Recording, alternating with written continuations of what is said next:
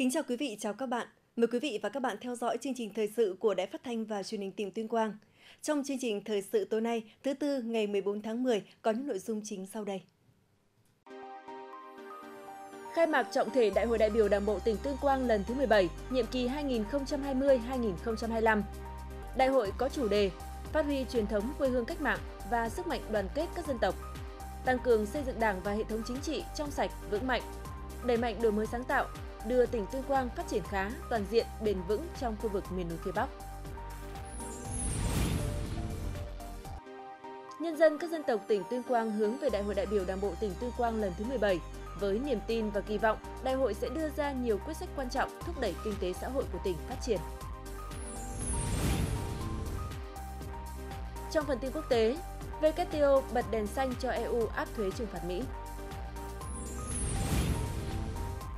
IMF điều chỉnh dự báo kinh tế toàn cầu theo hướng lạc quan hơn.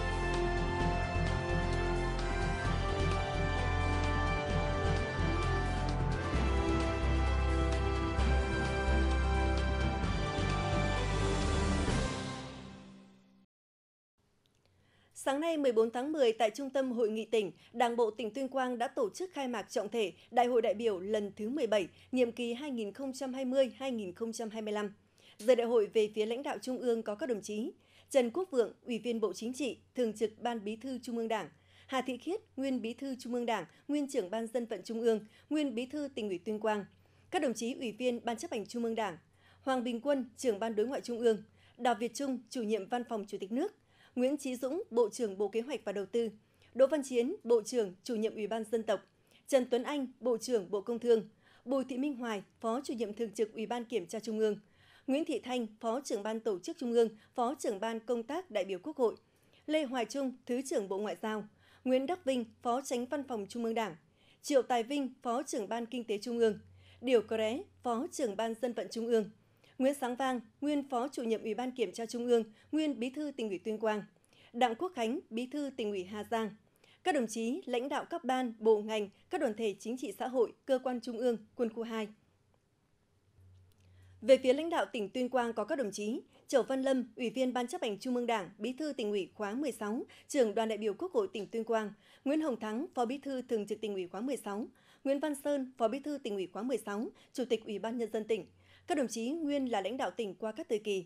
các đồng chí Ủy viên Ban Thường vụ tỉnh ủy, Ủy viên Ban chấp hành Đảng bộ tỉnh, cán bộ tiền khởi nghĩa, mẹ Việt Nam anh hùng và 345 đại biểu đại diện cho trên 56.000 đảng viên trong toàn Đảng bộ tham dự đại hội. Đại hội đại biểu Đảng bộ tỉnh Tuyên Quang lần thứ 17, nhiệm kỳ 2020-2025 có chủ đề Phát huy truyền thống quê hương cách mạng và sức mạnh đoàn kết các dân tộc, tăng cường xây dựng Đảng và hệ thống chính trị trong sạch vững mạnh, đẩy mạnh đổi mới sáng tạo, đưa tỉnh Tuyên Quang phát triển khá toàn diện, bền vững trong khu vực miền núi phía Bắc. Thay mặt đoàn Chủ tịch Đại hội, đồng chí Chầu Văn Lâm, Ủy viên Ban chấp hành Trung ương Đảng, Bí thư tỉnh ủy khóa 16, trưởng đoàn đại biểu Quốc hội tỉnh Tuyên Quang phát biểu khai mạc đại hội.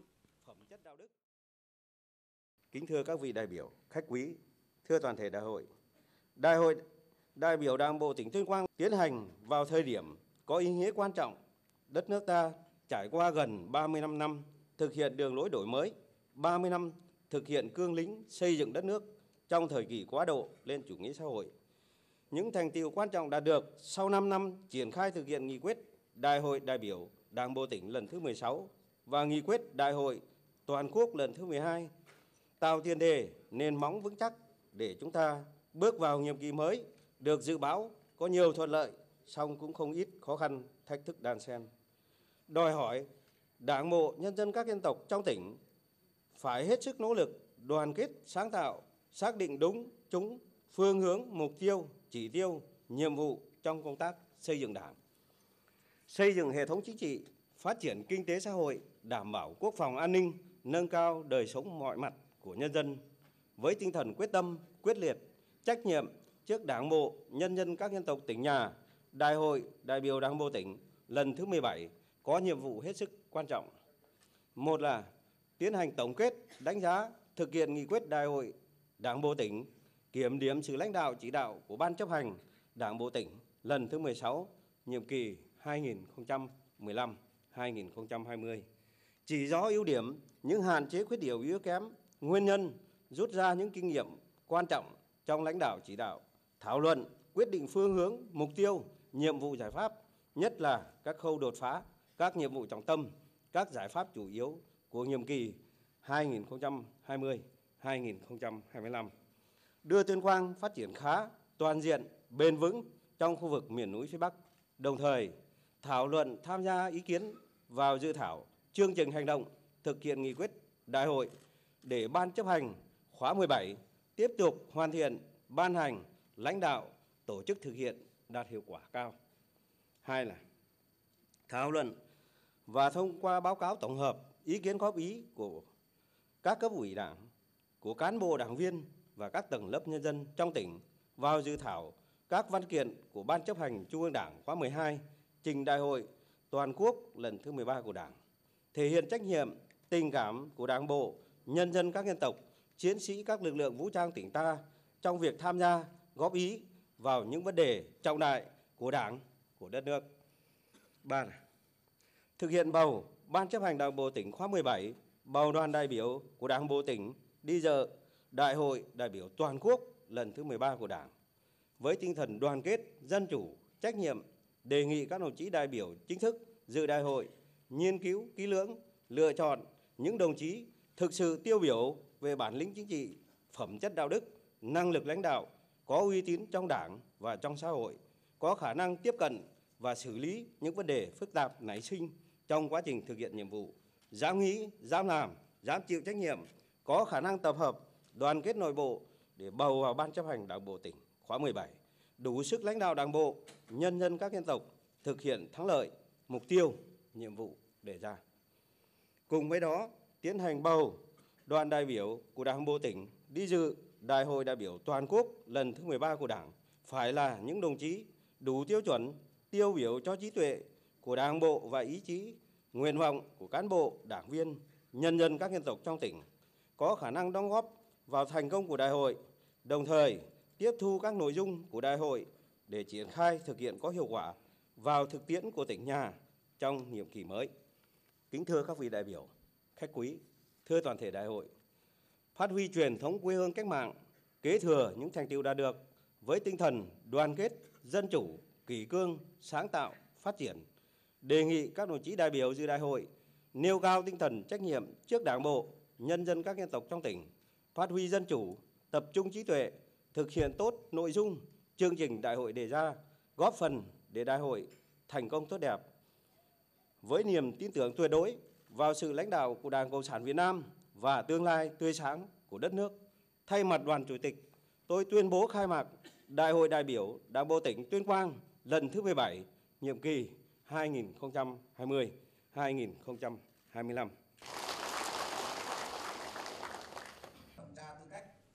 Đại hội cũng đã nghe và biểu quyết thông qua báo cáo kết quả thẩm tra tư cách đại biểu dự Đại hội đại biểu Đảng bộ tỉnh Tuyên Quang lần thứ 17. Thay mặt đoàn Chủ tịch Đại hội, đồng chí Châu Văn Lâm, Bí thư tỉnh ủy đã trình bày dự thảo báo cáo chính trị do Ban chấp hành Đảng bộ tỉnh khóa 16 chuẩn bị trình đại hội. Báo cáo khẳng định, trong 5 năm qua, dưới sự lãnh đạo chỉ đạo quyết liệt của Ban chấp hành Đảng bộ tỉnh, sự quản lý, điều hành, chủ động, linh hoạt của chính quyền các cấp, cùng với sự đoàn kết, thống nhất cao trong toàn đảng bộ và sự đồng thuận, nỗ lực phấn đấu của nhân dân các dân tộc trong tỉnh, cơ bản hoàn thành các chỉ tiêu nghị quyết Đại hội đại biểu Đảng bộ tỉnh lần thứ 16 đề ra. Có nhiều chỉ tiêu vượt mục tiêu ở mức cao. Kinh tế của tỉnh duy trì tốc độ tăng trưởng khá, bình quân đạt 6,45% trên năm. Tổng sản phẩm bình quân đầu người đạt gần 45 triệu đồng. Giá trị sản xuất công nghiệp đạt trên 14.300 tỷ đồng. Cấp giấy chứng nhận đầu tư cho 37 dự án. Công nghiệp chế biến, nông lâm sản có sự phát triển, nhất là công nghiệp chế biến gỗ, liên kết chặt chẽ giữa sản xuất, chế biến và tiêu thụ với phát triển vùng nguyên liệu theo chuỗi giá trị, nâng cao giá trị sản phẩm và phát triển bền vững. Giá trị sản xuất nông lâm nghiệp thủy sản tăng bình quân 4,3% trên năm, vượt mục tiêu nghị quyết đề ra, đảm bảo an ninh lương thực trên địa bàn. Bước đầu khai thác và phát huy hiệu quả một số tiềm năng, lợi thế của địa phương để phát triển sản xuất hàng hóa tập trung, hướng tới sản xuất an toàn, nâng cao chất lượng sản phẩm và gắn với nhu cầu thị trường – Kinh tế lâm nghiệp phát triển khá nhanh và vững chắc, cấp chứng chỉ quản lý rừng bền vững theo tiêu chuẩn quốc tế FSC cho trên 27.700 ha. Kết cấu hạ tầng nông nghiệp nông thôn được quan tâm đầu tư xây dựng theo phương châm nhân dân làm, nhà nước hỗ trợ. Thực hiện kiên cố hóa trên 1.000 km kênh mương, xây dựng 934 nhà văn hóa xã, thôn, tổ dân phố, bê tông hóa 633 km đường giao thông nội đồng, gần 38% số xã đạt chuẩn nông thôn mới, thu hút 1,9 triệu lượt khách du lịch, thu ngân sách nhà nước trên địa bàn 2.300 tỷ đồng, giá trị xuất khẩu hàng hóa trên 135 triệu đô la Mỹ, tạo việc làm cho trên 114.000 lao động. Tỷ lệ hộ nghèo giảm trên 3% trên năm, tỷ lệ che phủ rừng trên 65%. Các lĩnh vực thu hút đầu tư, đối ngoại, hợp tác đầu tư được tăng cường, hệ thống thương mại dịch vụ được mở rộng, đổi mới căn bản toàn diện giáo dục và đào tạo, chất lượng chăm sóc sức khỏe nhân dân được nâng lên, quốc phòng được củng cố, tăng cường, an ninh chính trị, trật tự an toàn xã hội được giữ vững, dân chủ và sức mạnh đoàn kết các dân tộc được phát huy, vai trò giám sát, phản biện xã hội của mặt trận Tổ quốc và các đoàn thể chính trị xã hội được tăng cường. Tập trung lãnh đạo, chỉ đạo, thực hiện nhiệm vụ cấp bách về xây dựng Đảng, trọng tâm là thực hiện nghị quyết Trung ương 4 khóa 11, 12 gắn với đẩy mạnh học tập và làm theo tư tưởng, đạo đức phong cách Hồ Chí Minh. Thực hiện các quy định nêu gương của cán bộ đảng viên, nhất là người đứng đầu với quyết tâm chính trị cao, đạt nhiều kết quả tích cực. Chú trọng công tác xây dựng Đảng về chính trị, nâng cao chất lượng và hiệu quả công tác tư tưởng lý luận, năng lực lãnh đạo, sức chiến đấu của tổ chức cơ sở Đảng và chất lượng đội ngũ cán bộ đảng viên được nâng lên. Công tác kiểm tra giám sát, kỷ luật Đảng được tăng cường, phương thức lãnh đạo của Đảng tiếp tục được đổi mới. Thực tiễn 5 năm qua thực hiện nghị quyết đại hội đại biểu Đảng bộ tỉnh lần thứ 16 rút ra một số kinh nghiệm sau đây. Một là phát huy truyền thống quê hương cách mạng, giữ vững sự đoàn kết thống nhất trong Đảng và hệ thống chính trị, đảm bảo dân chủ, đồng thuận trong nhân dân là yếu tố quan trọng nhất để lãnh đạo thực hiện các nhiệm vụ mục tiêu đề ra. Hai, mọi chủ trương chính sách phải xuất phát từ nguyện vọng, quyền và lợi ích chính đáng của nhân dân, phù hợp với điều kiện thực tiễn, lựa chọn đúng, trúng các khâu đột phá, các nhiệm vụ trọng tâm, có cơ chế huy động và sử dụng có hiệu quả các nguồn lực để phát triển kinh tế xã hội nhằm xây dựng và nâng cao đời sống của nhân dân. Ba là bám sát chủ trương đường lối của Đảng, chính sách pháp luật của nhà nước, có quyết tâm chính trị cao, nỗ lực lớn, hành động quyết liệt, năng động, sáng tạo, dám nghĩ, dám làm, dám chịu trách nhiệm, nắm chắc tình hình, kịp thời tháo gỡ, giải quyết những khó khăn vướng mắc nảy sinh. Thứ tư, coi trọng yếu tố phát triển bền vững cùng với phát triển kinh tế phải thường xuyên quan tâm chăm lo các lĩnh vực văn hóa xã hội, bảo vệ môi trường và giữ vững quốc phòng, an ninh. Thứ năm,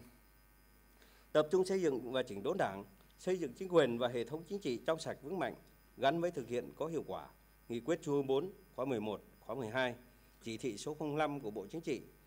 tăng cường đào tạo cán bộ đi đôi với giao nhiệm vụ đột phá, đổi mới trong thực hiện nhiệm vụ được giao, xây dựng đội ngũ cán bộ đảng viên, nhất là người đứng đầu, cán bộ lãnh đạo, quản lý các cấp có đủ phẩm chất, năng lực, uy tín, ngang tầm nhiệm vụ, tăng cường mối quan hệ gắn bó giữa cán bộ, đảng viên với nhân dân, phát huy vai trò mặt trận Tổ quốc và các đoàn thể chính trị xã hội. Phần thứ hai, phương hướng mục tiêu, nhiệm vụ, giải pháp chủ yếu nhiệm kỳ 2020-2025 định hướng đến năm 2030. Về phương hướng chung, phát huy truyền thống quê hương cách mạng, khơi dậy ý chí tự lực, tự cường, khát vọng vươn lên, sức mạnh đoàn kết các dân tộc, chủ động nắm bắt thời cơ thuận lợi của cuộc cách mạng công nghiệp lần thứ tư để phát triển khá, toàn diện, bền vững, phát triển đồng bộ hệ thống kết cấu hạ tầng giao thông, đô thị động lực, công nghệ thông tin, khai thác tiềm năng, nguồn lực, tập trung phát triển mạnh du lịch, các ngành dịch vụ, tiếp tục phát triển nông lâm nghiệp hàng hóa, tập trung các sản phẩm chủ lực, sản phẩm đặc sản đảm bảo tiêu chuẩn chất lượng, giá trị gia tăng cao. Chú trọng phát triển một số ngành công nghiệp có lợi thế, hiệu quả cao nhằm thúc đẩy tăng trưởng, chuyển dịch cơ cấu kinh tế, tiếp tục nâng cao chất lượng nguồn nhân lực, đặc biệt là lao động có kỹ năng, tay nghề cao, đẩy mạnh ứng dụng tiến bộ khoa học công nghệ trong sản xuất kinh doanh để nâng cao năng suất lao động và thu nhập, chăm lo phát triển văn hóa, xây dựng con người đáp ứng yêu cầu phát triển, thực hiện tốt các chính sách vùng đặc biệt khó khăn, chính sách dân tộc, vùng đồng bào dân tộc thiểu số và miền núi, đảm bảo an sinh xã hội, tăng cường quốc phòng an ninh, mở rộng và nâng cao hiệu quả hoạt động đối ngoại, chủ động tích cực hội nhập quốc tế, thực hiện tốt công tác xây dựng Đảng, trọng tâm là nâng cao năng lực lãnh đạo, sức chiến đấu của cấp ủy Đảng, tiếp tục đổi mới sắp xếp tổ chức bộ máy hệ thống chính trị tinh gọn, hoạt động hiệu lực, hiệu quả, chú trọng đào tạo bồi dưỡng, nâng cao chất lượng đội ngũ cán bộ, đảng viên, nhất là đội ngũ cán bộ chủ chốt, có đủ phẩm chất năng lực, uy tín, ngang tầm nhiệm vụ, nâng cao hiệu lực hiệu quả quản lý nhà nước, phát huy vai trò mặt trận tổ quốc, các đoàn thể chính trị xã hội, mục tiêu tổng quát. Xây dựng đảng bộ và hệ thống chính trị trong sạch vững mạnh, phát huy dân chủ, sức mạnh, đoàn kết các dân tộc, huy động sử dụng có hiệu quả các nguồn lực, đẩy mạnh đổi mới sáng tạo, thúc đẩy tăng trưởng kinh tế, nâng cao năng suất, chất lượng, hiệu quả, sức cạnh tranh của nền kinh tế, chuyển dịch cơ cấu theo hướng tăng tỷ trọng dịch vụ công nghiệp, phát triển kinh tế đồng bộ với phát triển các lĩnh vực văn hóa xã hội, bảo vệ môi trường, đảm bảo an sinh, phúc lợi xã hội, nâng cao đời sống vật chất tinh thần của nhân dân, đặc biệt là các hộ gia đình chính sách, người có công với cách mạng, hộ người dân tộc thiểu số, hộ nghèo, đảm bảo quốc phòng an ninh, giữ vững ổn định chính trị, trật tự an toàn xã hội, thực hiện có hiệu quả công tác đối ngoại, hội nhập quốc tế, đưa tỉnh Tuyên Quang phát triển khá, toàn diện, bền vững trong khu vực miền núi phía Bắc. Các khâu đột phá các nhiệm vụ trọng tâm nhiệm kỳ 2020-2025 tập trung thực hiện ba khâu đột phá. Khâu đột phá thứ nhất là phát triển nông nghiệp, lâm nghiệp hàng hóa, tập trung vào các sản phẩm chủ lực, đặc sản, đảm bảo tiêu chuẩn chất lượng, giá trị gia tăng cao gắn với chương trình xây dựng nông thôn mới. Khâu đột phá thứ hai là phát huy tiềm năng, đẩy mạnh phát triển du lịch trở thành ngành kinh tế quan trọng của tỉnh. Khâu đột phá thứ ba là phát triển kết cấu hạ tầng giao thông, đô thị động lực, hạ tầng công nghệ thông tin đồng bộ theo hướng hiện đại với 5 nhiệm vụ trọng tâm sau đây. Nhiệm vụ thứ nhất là thu hút đầu tư, huy động sử dụng có hiệu quả các nguồn lực để phát triển kinh tế xã hội, trong đó ưu tiên thực hiện các khâu đột phá. Thứ hai là tăng cường kỷ luật, kỷ cương, đẩy mạnh cải cách hành chính, ứng dụng khoa học công nghệ đáp ứng yêu cầu phát triển bền vững và hội nhập, nâng cao năng lực cạnh tranh, tạo động lực phát triển kinh tế xã hội.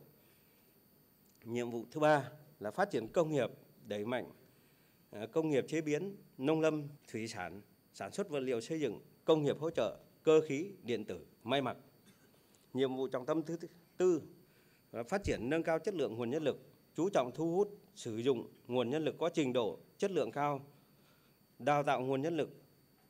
có trình độ kỹ thuật đáp ứng yêu cầu thị trường. Nhiệm vụ trọng tâm thứ năm là tăng cường xây dựng đảng và hệ thống chính trị trong sạch vững mạnh, xây dựng đội ngũ cán bộ, nhất là cán bộ lãnh đạo, quản lý đủ phẩm chất, năng lực, uy tín, ngang tầm nhiệm vụ. Tỉnh Tuyên Quang xác định tiếp tục tập trung thực hiện các khâu đột phá, tạo động lực thúc đẩy phát triển kinh tế xã hội, đảm bảo quốc phòng an ninh, thực hiện tốt công tác tư pháp thanh tra, xây dựng chính quyền, đổi mới hoạt động của mặt trận Tổ quốc và các đoàn thể chính trị xã hội, phát huy sức mạnh đoàn kết các dân tộc, nâng cao hiệu quả hoạt động đối ngoại, xây dựng Đảng trong sạch vững mạnh, nâng cao năng lực lãnh đạo và sức chiến đấu của Đảng. Trong phiên khai mạc sáng nay, Đại hội đại biểu Đảng bộ tỉnh Tuyên Quang lần thứ 17 đã nghe đồng chí Nguyễn Hồng Thắng, Phó Bí thư Thường trực tỉnh ủy khóa 16, trình bày báo cáo kiểm điểm sự lãnh đạo chỉ đạo của Ban chấp hành Đảng bộ tỉnh khóa 16, nhiệm kỳ 2015-2020 đồng chí Nguyễn Văn Sơn, Phó Bí thư tỉnh ủy khóa 16, Chủ tịch Ủy ban nhân dân tỉnh trình bày dự thảo chương trình hành động của Ban chấp hành Đảng bộ tỉnh thực hiện nghị quyết Đại hội đại biểu Đảng bộ tỉnh lần thứ 17, nhiệm kỳ 2020-2025.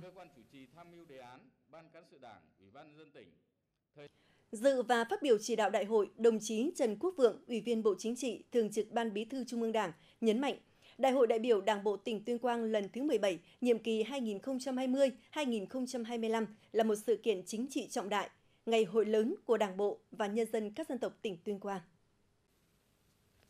Đồng chí Trần Quốc Vượng, Thường trực Ban Bí thư Trung ương Đảng khẳng định, trong 5 năm qua, Đảng bộ và nhân dân các dân tộc tỉnh Tuyên Quang đã phát huy truyền thống quê hương cách mạng, đoàn kết, thống nhất, sáng tạo, nỗ lực phấn đấu vượt qua mọi khó khăn, cơ bản hoàn thành các chỉ tiêu chủ yếu của nhiệm kỳ, trong đó nhiều chỉ tiêu vượt kế hoạch. Tuyên Quang cơ bản trở thành tỉnh phát triển khá trong các tỉnh miền núi phía Bắc. Kinh tế của tỉnh tiếp tục tăng trưởng khá. Cơ cấu kinh tế có sự chuyển dịch theo hướng tích cực, rõ nét hơn. Từng bước khai thác, phát huy tiềm năng lợi thế để phát triển, nhất là thực hiện các khâu đột phá về phát triển công nghiệp, nông nghiệp và du lịch. Sản xuất công nghiệp có bước tiến bộ mới, tăng trưởng cao, và thu hút được nhiều dự án công nghiệp có quy mô lớn, đầu tư vào lĩnh vực tiềm năng lợi thế của tỉnh và chú trọng công nghiệp chế biến sâu các sản phẩm nông nghiệp, khoáng sản gắn với bảo vệ môi trường bền vững và sản xuất nông nghiệp từng bước khai thác phát huy tiềm năng lợi thế của địa phương, phát triển sản xuất hàng hóa tập trung, nâng cao chất lượng sản phẩm gắn với nhu cầu của thị trường và đặc biệt Tuyên Quang là một điểm sáng về quản lý bảo vệ phát triển rừng bền vững, đem lại giá trị lớn về kinh tế và môi trường. Với diện tích trồng rừng và sản lượng khai thác đứng đầu cả nước là một trong ba tỉnh có tỷ lệ cao về che phủ rừng với trên 65%. Có được kết quả đó trước hết là do tỉnh coi trọng phát triển kinh tế lâm nghiệp nhanh và bền vững đã hình thành mối liên kết chặt chẽ giữa doanh nghiệp chế biến và người trồng rừng. Người nông dân có thu nhập cao hơn, phấn khởi, tin tưởng và yên tâm trồng rừng, bảo vệ rừng. Hoạt động du lịch có chuyển biến tích cực, hình thành và phát triển một số loại hình sản phẩm du lịch phù hợp với tiềm năng lợi thế của tỉnh. Hệ thống kết cấu hạ tầng du lịch được đầu tư xây dựng, tăng cường liên kết hợp tác liên vùng, liên tỉnh và quốc tế trong phát triển du lịch. Nhiệm kỳ qua, tỉnh nhà đã thu hút trên 6,7 triệu lượt khách du lịch và doanh thu từ du lịch đạt gần 6.000 tỷ đồng. Môi trường đầu tư của tỉnh có chuyển biến tích cực, các chỉ số về năng lực cạnh tranh, cải cách hành chính tăng đáng kể, đã thu hút được các doanh nghiệp có tiềm lực đầu tư vào lĩnh vực nông nghiệp, lâm nghiệp, dịch vụ và du lịch. Hệ thống kết cấu hạ tầng, nhất là hạ tầng nông thôn được tỉnh quan tâm, đã phát huy nguồn lực trong dân để xây dựng kết cấu hạ tầng nông thôn như là kiên cố hóa kênh mương, bê tông hóa đường giao thông nội đồng, đã góp phần đẩy mạnh chương trình xây dựng nông thôn mới, phát triển đô thị, tạo động lực cho phát triển kinh tế xã hội của tỉnh nhà. Lĩnh vực văn hóa xã hội có tiến bộ, chất lượng giáo dục, y tế được nâng lên, tỷ lệ người dân tham gia bảo hiểm y tế đạt trên 94,5%.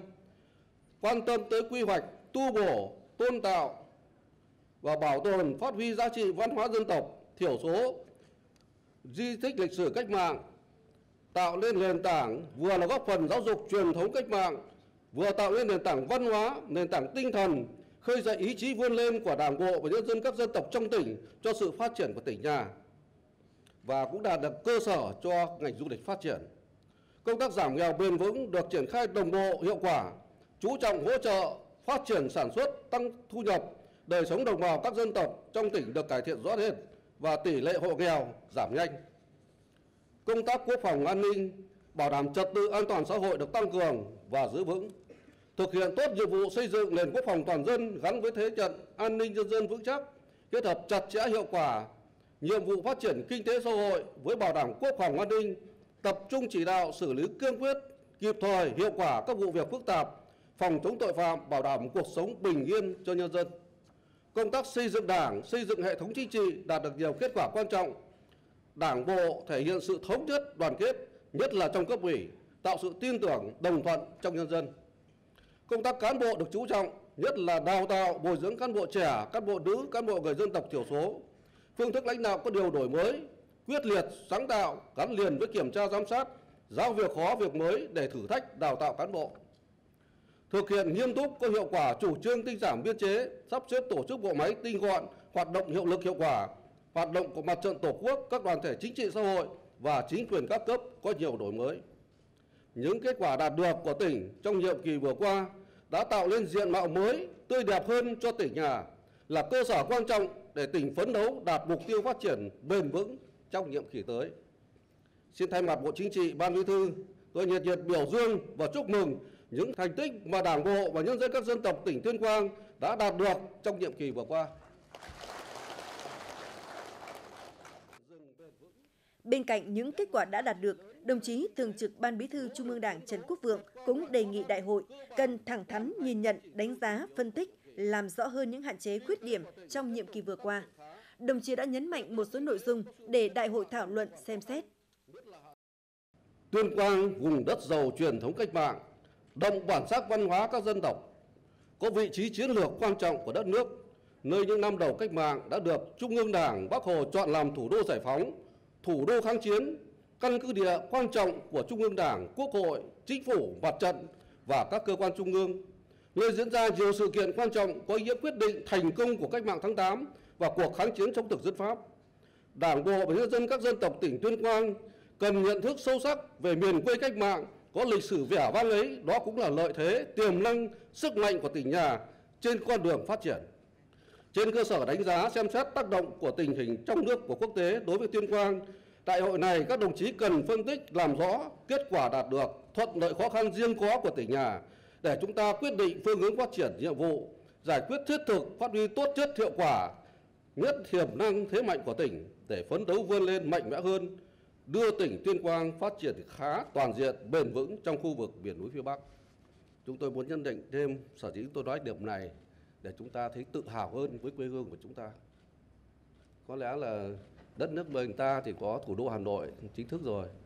Nhưng mà những năm kháng chiến, những năm cách mạng, năm năm đầu tiên, đây là thủ đô, thủ đô giải phóng, thủ đô kháng chiến. Nói tới Tuyên Quang, nói tới Việt Bắc là cả nước hướng về. Không nơi nào có đó. Để nơi đây là một tỉnh duy nhất được tổ chức đại hội đảng toàn quốc lần thứ hai. Ngoài Hà Nội ra nơi nào có nơi nào đọc như thế đâu. Chúng tôi muốn nói đây là cái sức mạnh, là nguồn lực. Một quê hương cách mạng vẻ vang như vậy thì chúng ta phải có yêu cầu khác. Nói đến liên quan thì các tỉnh, các địa phương, các ngành đều quan tâm tạo điều kiện cho các đồng chí phát triển. Điều quan trọng nhất là chúng ta sử dụng nó, phát huy nó để chúng ta thu hút, để chúng ta khơi dậy, để chúng ta phát triển. Chúng tôi nghĩ rằng đại hội chúng ta cần phải được nhấn mạnh điểm này. Cần tiếp tục đổi mới, chủ động, tích cực hơn nữa với giải pháp đồng bộ, bước đi thích hợp, có phương châm phát triển kinh tế xanh, nhanh, bền vững, gắn với bảo đảm an sinh, ổn định trật tự, an toàn xã hội. Huy động và sử dụng hiệu quả mọi nguồn lực, ưu tiên đầu tư xây dựng kết cấu hạ tầng giao thông, đô thị và công nghệ thông tin, đa dạng hóa các nguồn đầu tư, các công trình dự án phát triển kết cấu hạ tầng, và chúng ta chú trọng xây dựng hạ tầng giao thông kết nối với đường cao tốc Nội Bài Lào Cai và các công trình giao thông trọng điểm, đổi mới nâng cao chất lượng quy hoạch đô thị và đẩy nhanh tốc độ đô thị hóa. Với lợi thế về đất đai, khí hậu thuận lợi, Tuyên Quang cần tiếp tục xác định phát triển nông nghiệp là nền tảng của quá trình phát triển đi lên của tỉnh. Tập trung phát triển toàn diện nông nghiệp, lâm nghiệp, thủy sản theo hướng ứng dụng công nghệ cao, bảo vệ môi trường bền vững gắn với xây dựng nông thôn mới, phát triển sản xuất hàng hóa theo chuỗi giá trị, xây dựng thương hiệu, đa dạng hóa sản phẩm và mở rộng thị trường trong nước và xuất khẩu, nâng cao chất lượng công tác quản lý bảo vệ rừng gắn với phát triển kinh tế lâm nghiệp bền vững, bảo tồn đa dạng sinh học trở thành một trong những tỉnh điển hình về phát triển kinh tế lâm nghiệp của cả nước. Tiếp tục thu hút đầu tư, đẩy mạnh phát triển một số ngành công nghiệp tiềm năng lợi thế, nhất là công nghiệp chế biến, nông sản, lâm sản và khoáng sản tạo hàng hóa có giá trị cao để phấn đấu trở thành một trong những trung tâm chế biến nông sản lâm sản của vùng Trung Du và miền núi phía Bắc. Chú trọng xây dựng nông thôn mới trên cơ sở huy động lồng ghép nguồn lực để có kết cấu hạ tầng kinh tế xã hội nông thôn đồng bộ, đạt tiêu chuẩn nông thôn mới, nông thôn mới nâng cao, nông thôn mới kiểu mẫu, nhất là tiêu chí về nâng cao thu nhập và đời sống của nhân dân, chú trọng tăng cường quản lý và sử dụng hiệu quả đất đai, tài nguyên, bảo vệ môi trường, thích ứng với biến đổi khí hậu. Tuyên Quang có nhiều tiềm năng lợi thế về phát triển du lịch, văn hóa, du lịch sinh thái, nghỉ dưỡng, du lịch cộng đồng. Do vậy cần quan tâm nhiều hơn nữa cho phát triển lĩnh vực này để sớm trở thành ngành kinh tế quan trọng của tỉnh. Đặc biệt phải quan tâm xây dựng, quản lý, phát huy vị thế của khu du lịch quốc gia Tân Trào, chú ý kết hợp hài hòa giữa bảo tồn và phát huy giá trị di sản, tài nguyên thiên nhiên với hoạt động du lịch. Với những di, di tích lịch sử quý giá, không gian văn hóa truyền thống và cảnh quan thiên nhiên sống động. Cho nên chúng ta phải chú trọng tạo lên một sản phẩm du lịch chất lượng cao, phấn đấu thời gian gần gần nhất trở thành một trong những trung tâm du lịch văn hóa lịch sử cách mạng hàng đầu của vùng Trung Du miền núi phía Bắc là điểm đến hấp dẫn trong hành trình tham quan nghiên cứu của du khách trong và ngoài nước. Cùng với phát triển kinh tế, tỉnh quan tâm cần quan tâm phát triển toàn diện văn hóa xã hội, nâng cao chất lượng cuộc sống và hạnh phúc của nhân dân, chú trọng công tác giáo dục đào tạo, xây dựng nguồn nhân lực phục vụ cho quá trình phát triển của tỉnh và nâng cao chất lượng công tác bảo vệ chăm sóc sức khỏe nhân dân, phòng chống dịch bệnh, bảo tồn và phát huy hiệu quả các di tích lịch sử cách mạng, giá trị bản sắc văn hóa cao đẹp, góp phần khơi dậy trong nhân dân ý chí tự lực tự cường, khát vọng vươn lên, xây dựng Tuyên Quang phát triển nhanh bền vững, đẩy mạnh phong trào toàn dân đoàn kết xây dựng đời sống văn hóa gắn với xây dựng nông thôn mới, đô thị văn minh và hết sức coi trọng công tác an sinh xã hội, tập trung giảm nghèo nhanh và bền vững, chăm lo nâng cao đời sống vật chất và tinh thần cho nhân dân, nhất là gia đình chính sách, gia đình người có công, đồng bào dân tộc thiểu số và vùng cao vùng xa còn khó khăn. Tuyên Quang có vị trí chiến lược về quốc phòng an ninh. Ở đây chúng ta có 22 dân tộc anh em cùng sinh sống lâu đời. Tỉnh cần coi trọng công tác tuyên truyền vận động, khơi dậy truyền thống đoàn kết dân tộc, đoàn kết toàn dân, tăng cường củng cố quốc phòng an ninh, giữ vững an ninh chính trị, bảo đảm trật tự an toàn xã hội trên địa bàn, xây dựng thế trận quốc phòng toàn dân gắn với thế trận an ninh nhân dân vững chắc, giải quyết kịp thời các tình huống phức tạp nảy sinh, không để bị động bất ngờ, đẩy mạnh công tác phòng chống tội phạm và tệ nạn xã hội, xây dựng xã hội trật tự, kỷ cương, dân chủ, lành mạnh, giữ gìn sự bình yên cho nhân dân. Tiếp tục quán triệt nhận thức đầy đủ sâu sắc về vai trò tầm quan trọng nhiệm vụ hàng đầu then chốt của công tác xây dựng chỉnh đốn Đảng. Kiên trì thực hiện nhiệm vụ xây dựng chỉnh đốn Đảng, hệ thống chính trị trong sạch, vững mạnh gắn với việc học tập và làm theo tư tưởng đạo đức phong cách Hồ Chí Minh, các quy định về nêu gương cho các của cán bộ đảng viên, nhất là người đứng đầu. Thực hiện nghiêm nguyên tắc tập trung dân chủ trong sinh hoạt đảng, thường xuyên tự phê bình và phê bình, tiếp tục thực hiện và đổi mới, sắp xếp tổ chức bộ máy hệ thống chính trị, tinh gọn, hoạt động hiệu lực hiệu quả, chăm lo xây dựng đội ngũ cán bộ có trình độ, năng lực, uy tín, có kế hoạch chương trình cụ thể, tạo nguồn cán bộ trẻ, cán bộ nữ, cán bộ người dân tộc thiểu số một cách bài bản, chiến lược lâu dài. Tăng cường hơn nữa công tác giám sát kiểm tra của Đảng và công tác phòng chống tham nhũng lãng phí,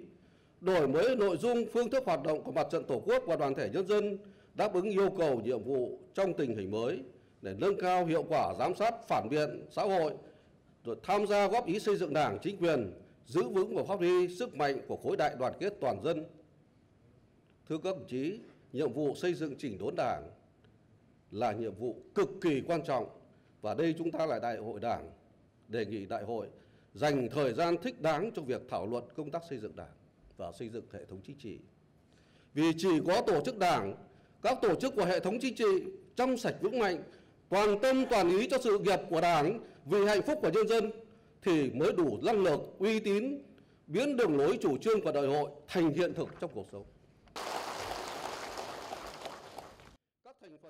Đồng chí Trần Quốc Vượng khẳng định, Bộ Chính trị, Ban Bí thư tin tưởng Đảng bộ và nhân dân các dân tộc tỉnh Tuyên Quang phát huy lợi thế, khắc phục khó khăn, thử thách, không ngừng phấn đấu vươn lên, hoàn thành thắng lợi nghị quyết Đại hội đại biểu Đảng bộ tỉnh lần thứ 17, xứng đáng với vị thế tầm vóc của quê hương cách mạng, thủ đô khu giải phóng, thủ đô kháng chiến.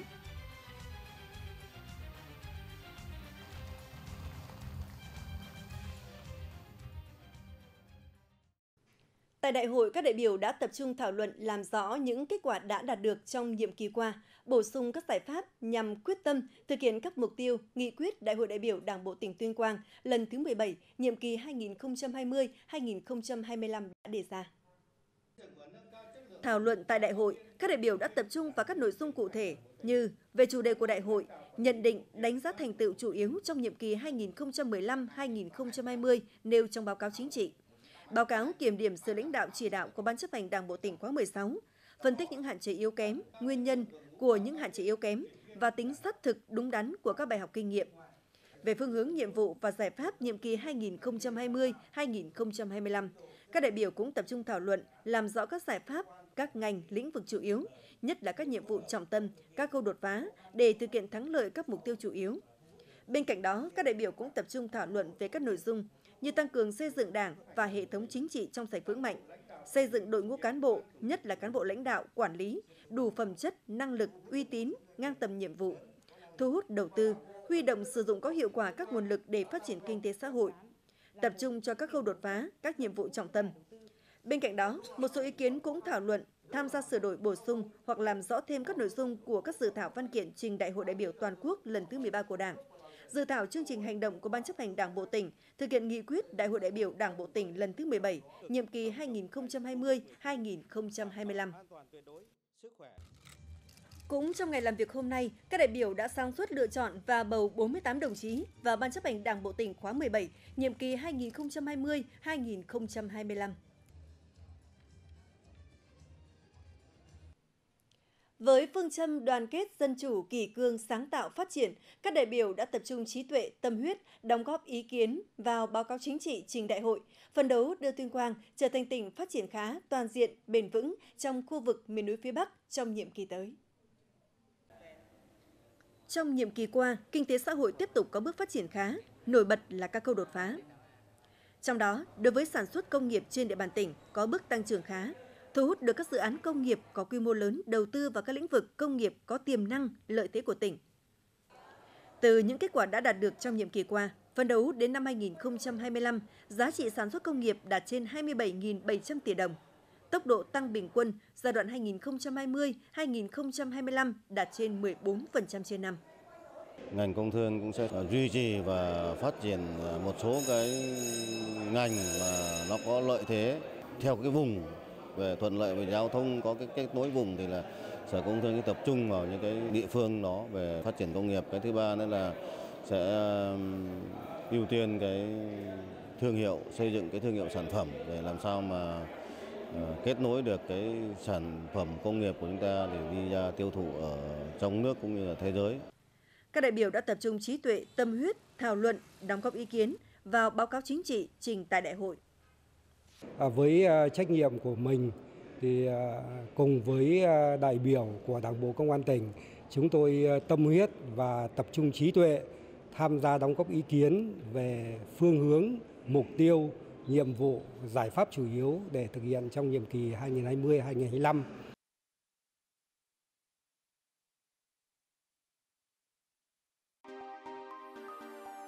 Trong phần tiếp theo của chương trình, nhân dân các dân tộc tỉnh Tuyên Quang hướng về Đại hội đại biểu Đảng bộ tỉnh Tuyên Quang lần thứ 17 với niềm tin và kỳ vọng đại hội sẽ đưa ra nhiều quyết sách quan trọng thúc đẩy kinh tế xã hội của tỉnh phát triển. Bộ Nội vụ tổ chức hội nghị trực tuyến toàn quốc triển khai luật sửa đổi bổ sung một số điều của luật cán bộ công chức và luật viên chức, luật tổ chức chính phủ và luật tổ chức chính quyền địa phương. Một giai đoạn mới sẽ mở ra với ý chí quyết tâm vượt qua khó khăn thử thách, tinh thần năng động sáng tạo để đưa nghị quyết Đại hội đại biểu Đảng bộ tỉnh lần thứ 17 đi vào cuộc sống. Xây dựng Tuyên Quang phát triển bền vững, toàn diện là kỳ vọng của người dân trên địa bàn tỉnh khi theo dõi phiên khai mạc được truyền hình trực tiếp vào sáng nay. Trong cái nhiệm kỳ tới này thì các đồng chí sẽ uh, quan tâm đến việc uh, uh, phát triển kinh tế, giải quyết uh, công an việc làm cho người lao động, thế và uh, xây dựng kết cấu hạ tầng của xã hội nó ngày một ờ, khang trang hơn. Có thể thấy rằng trước sự kiện chính trị trọng đại của tỉnh, người dân chung niềm tin và kỳ vọng vào những định hướng, quyết sách đúng đắn, sáng tạo, hiệu quả được đưa ra từ đại hội tạo đột phá cho sự phát triển của Tuyên Quang trong nhiệm kỳ mới. Bên cạnh đó là mong muốn đại hội sẽ lựa chọn được ban chấp hành khóa mới có trình độ, năng lực, năng động, sáng tạo, nhạy bén, đề ra những chủ trương, định hướng, quyết sách, sát thực, lãnh đạo thực hiện thắng lợi mọi nhiệm vụ. Bản thân tôi thì thấy là thời gian vừa qua, tỉnh ta cũng có nhiều cái thay đổi về công nông, rồi về tất cả mọi mặt trong xã hội cũng như đời sống của mọi người đã nâng lên. Và ờ, tới đây thì sau cái đại hội này, tôi cũng kỳ vọng với tất cả các đồng chí mà được nướng trong hàng ngũ của ờ, đảng khóa này thì đã có nhiều cái quyết sách mới hơn và cũng sáng tạo hơn, cũng như là đẩy nhanh tỉnh Tuyên Quang ngày một văn minh giàu đẹp người dân Tuyên Quang có những kỳ vọng khác nhau, nhưng tất cả đều chung ý thức xây dựng, tin tưởng Đại hội đại biểu Đảng bộ tỉnh Tuyên Quang lần thứ 17, nhiệm kỳ 2020-2025 sẽ tiếp tục mang đến những đổi thay tốt đẹp hơn. Phóng viên Thái Văn có mặt tại xã Tân Trào, huyện Sơn Dương sẽ chuyển tới quý vị và các bạn những kỳ vọng của người dân vùng quê cách mạng gửi tới đại hội.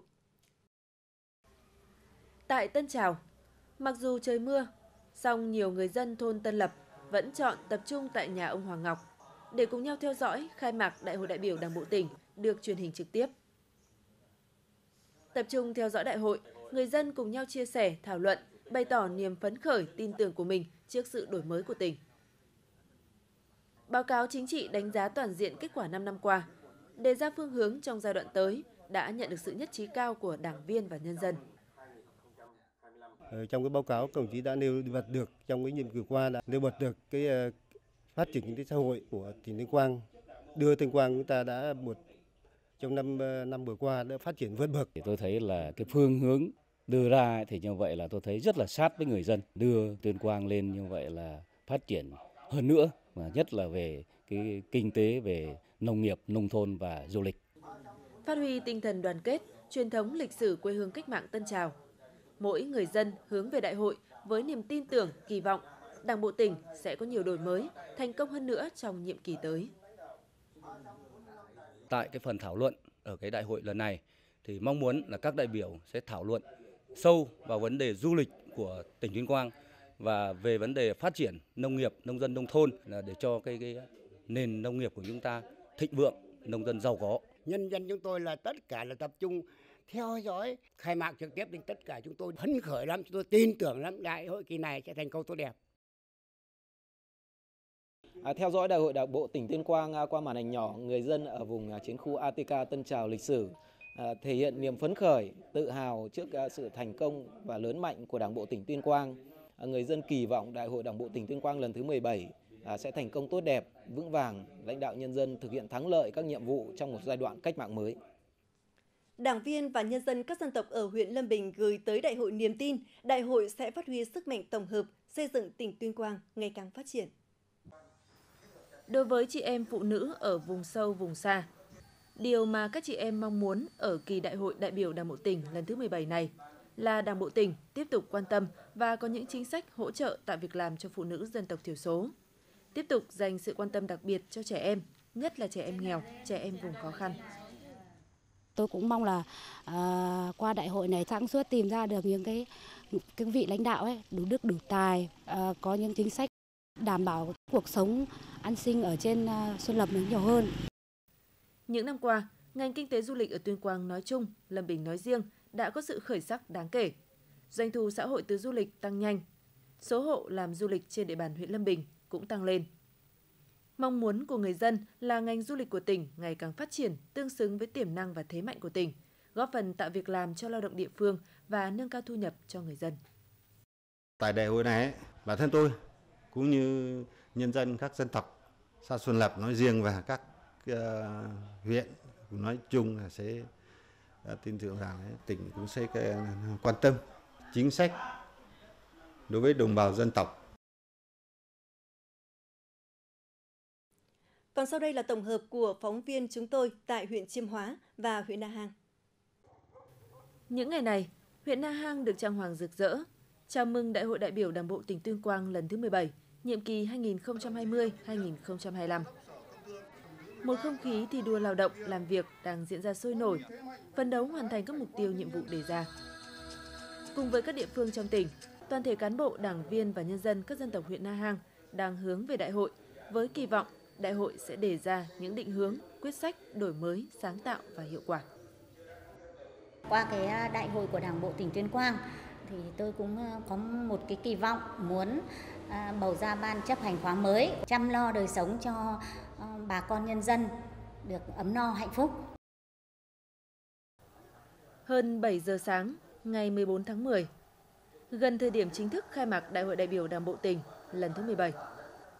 tại nhà bà Vũ Thị Quế, thị trấn Vĩnh Lộc. Một số cán bộ hưu trí, đảng viên trong tri bộ đã tập trung để cùng theo dõi đại hội qua truyền hình trực tiếp. Hôm nay thì cũng là được ờ, truyền hình trực tiếp thì tôi thấy là cũng rất là cụ thể các mục tiêu về các cái chỉ tiêu kinh tế phát triển kinh tế xã hội và cái nhiệm vụ chính trị cũng rất là rõ ràng. Chúng tôi cũng mong muốn là trong ờ, các đồng chí trong ban chấp hành đảng bộ trong nhiệm kỳ tới hiện được đúng theo tinh thần của nghị quyết. Tại các địa phương khác trong huyện Chiêm Hóa, chúng tôi cũng nhận thấy sự quan tâm lớn của nhiều cán bộ, đảng viên và nhân dân đối với đại hội, nhất là phiên khai mạc được truyền hình trực tiếp của Đài Phát thanh và Truyền hình tỉnh Tuyên Quang. Rất kỳ vọng và đặt niềm tin lớn vào sự lãnh đạo của ban chấp hành tỉnh nhiệm kỳ mới làm nào đưa cái đời sống của nhân dân trong tỉnh Tuyên Quang ngang tầm với lại những cái khu vực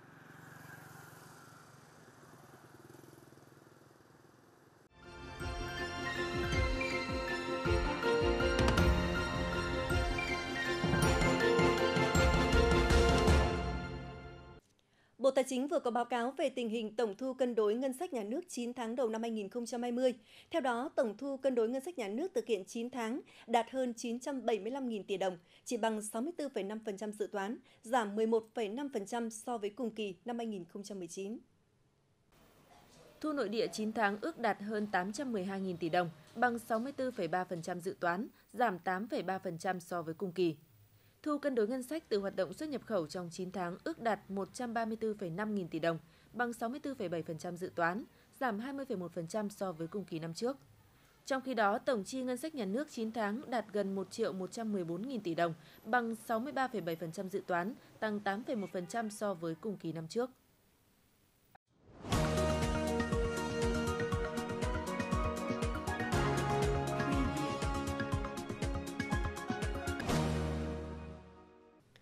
Mới đây, Tổ chức Thương mại Thế giới WTO cho phép EU có thể trả đũa áp thuế lên 4 tỷ đô la Mỹ hàng hóa nhập khẩu của Mỹ vào khối này. Cuộc chiến pháp lý kéo dài suốt 16 năm giữa Mỹ và Liên minh châu Âu EU liên quan đến việc trợ giá cho các nhà sản xuất máy bay của nhau là Boeing, Airbus, cuối cùng cũng đã tạm đi đến hồi kết. Hiện EU đã lập sẵn một danh sách các sản phẩm của Mỹ mà họ có thể áp thuế, từ tương cà cho đến phụ tùng ô tô và máy bay Boeing. Các biện pháp nâng thuế có thể được EU áp đặt từ ngày 27 tháng 10 tới, một tuần trước cuộc bầu cử Tổng thống Mỹ. Năm 2019, WTO đã cho phép Mỹ áp đặt trừng phạt lên 7,5 tỷ đô la Mỹ hàng hóa và dịch vụ của châu Âu sau khi đánh giá khoản viện trợ của EU dành cho Airbus là không phù hợp với các quy định thương mại quốc tế. Đây là khoản trừng phạt có giá trị lớn nhất từng được WTO thông qua cho tới nay. Giữa lúc các ngành hàng không thế giới, bao gồm cả Airbus và Boeing, đang chìm trong cuộc khủng hoảng do COVID-19, Giới quan sát cho rằng một cuộc chiến thuế quan kéo dài thông qua áp thuế ăn miếng trả miếng này có thể làm tăng giá máy bay, không phục vụ cho lợi ích của cả EU và Mỹ. Mới đây, Quỹ tiền tệ quốc tế IMF đã điều chỉnh dự báo nền kinh tế toàn cầu năm nay theo hướng lạc quan hơn so với trước. Trong báo cáo mới nhất về triển vọng kinh tế toàn cầu, IMF đưa ra mức dự báo nền kinh tế toàn cầu sẽ giảm khoảng 4,4% trong năm 2020, thay vì mức giảm tới 4,9% mà IMF dự báo hồi tháng 6 năm nay. Việc điều chỉnh dự báo kinh tế toàn cầu theo hướng lạc quan hơn xuất phát từ kết quả kinh tế toàn cầu trong quý 2 không quá tồi tệ như dự báo trước đó, cũng như kinh tế toàn cầu trong quý 3 có những tín hiệu phục hồi mạnh mẽ. Đối với các nền kinh tế lớn trên thế giới, IMF dự báo trong năm nay, kinh tế Mỹ có thể giảm 4,3%, khu vực đồng tiền Trung châu Âu giảm 8,3%, kinh tế Anh giảm 9,8% và kinh tế Nhật Bản giảm 5,3%. Trung Quốc là nền kinh tế lớn duy nhất dự kiến có thể tăng trưởng 1,9% trong năm 2020. Đối với kinh tế toàn cầu năm 2021, IMF hạ dự báo tăng trưởng từ mức 5,4% xuống còn 5,2%. Các chuyên gia IMF nhận định triển vọng kinh tế toàn cầu không chắc chắn có thể tốt hơn hoặc xấu đi phụ thuộc vào diễn biến dịch bệnh COVID-19, trong đó có việc sản xuất vaccine và điều trị bệnh. Đến đây chúng tôi xin được kết thúc chương trình thời sự tối nay của Đài Phát thanh và Truyền hình tỉnh Tuyên Quang. Cảm ơn sự quan tâm theo dõi của quý vị và các bạn. Tiếp ngay sau đây sẽ là những thông tin về tình hình thời tiết tại các địa phương trong tỉnh và xin kính chào tạm biệt.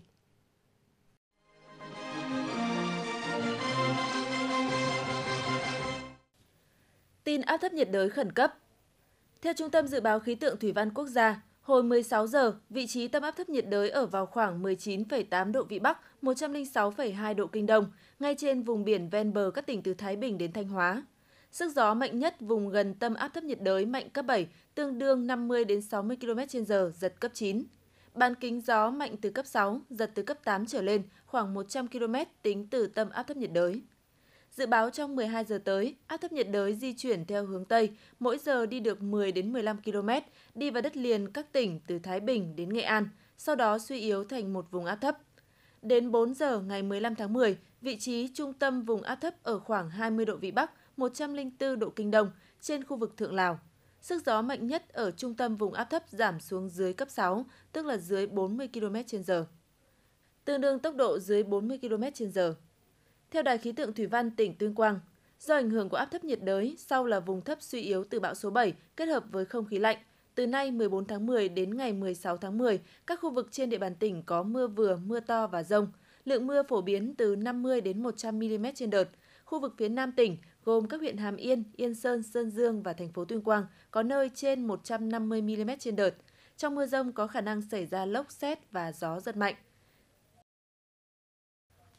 Tin mưa lớn diện rộng Do ảnh hưởng của bão số 7, ngày hôm nay 14 tháng 10, các khu vực trên địa bàn tỉnh đã có mưa, mưa vừa với lượng mưa phổ biến từ 10 đến 30 mm, có nơi có mưa to như Ninh Lai, Sơn Dương với lượng mưa 42 mm.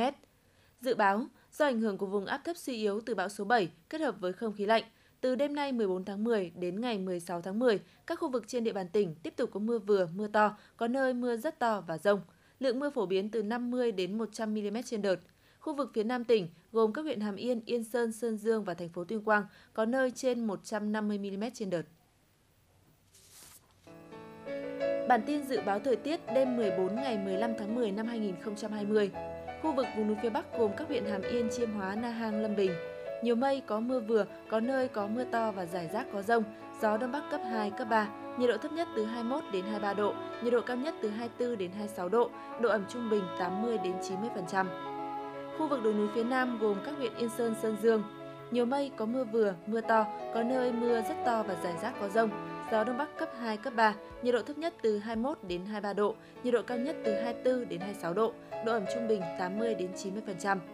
Khu vực thành phố Tuyên Quang gồm 15 xã phường. Nhiều mây, có mưa vừa, mưa to và rải rác có rông. Gió Đông Bắc cấp 2, cấp 3, nhiệt độ thấp nhất từ 21 đến 23 độ, nhiệt độ cao nhất từ 24 đến 26 độ, độ ẩm trung bình 80 đến 90%.